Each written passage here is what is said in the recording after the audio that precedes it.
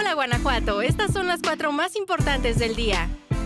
1. Más de mil habitantes de la comunidad de Tupátaro en el municipio de Cuerámaro contarán con agua de calidad con la construcción de una planta potabilizadora para el envasado de garrafones. Esta obra cumple con la norma establecida para el consumo de agua, además que será operada de forma adecuada por los propios habitantes de la comunidad. Cabe mencionar que en el último año se construyeron 35 plantas potabilizadoras en 15 municipios del estado con una inversión superior a los 21 millones de pesos.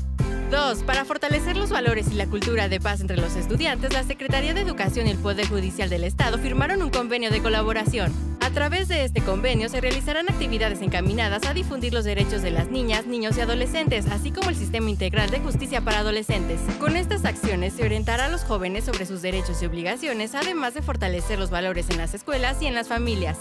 3. Para prevenir y detectar enfermedades crónicas en los guanajuatenses, la Secretaría de Salud entregó módulos de medición integrada para la detección oportuna a 10 unidades médicas en el estado.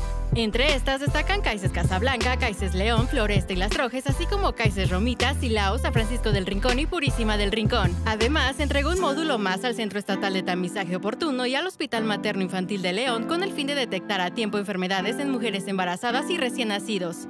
4. Con el fin de generar energías renovables y disminuir la emisión de gases contaminantes, se realizó el Foro de Difusión y Soluciones del Código Red en el Instituto Estatal de Capacitación en Salamanca. Participaron usuarios, empresarios, proveedores e integradores de energía, quienes discutieron los requerimientos técnicos para brindar energía bajo los conceptos de seguridad, calidad y continuidad.